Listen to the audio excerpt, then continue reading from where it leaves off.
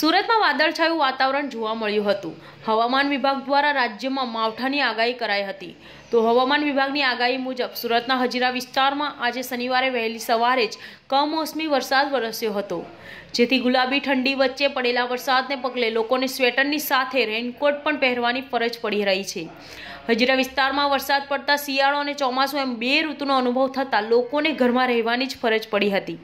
તો બીજી તરફ ખેડૂતોના ઊભા પાકમાં પણ નુકસાન ભીતિ જોવા મળી હતી, જેને પગલે ખેડૂતોમાં ચિંતાનો માહોલ જોવા મળ્યો હતો. Bureau report Samay media news Surat.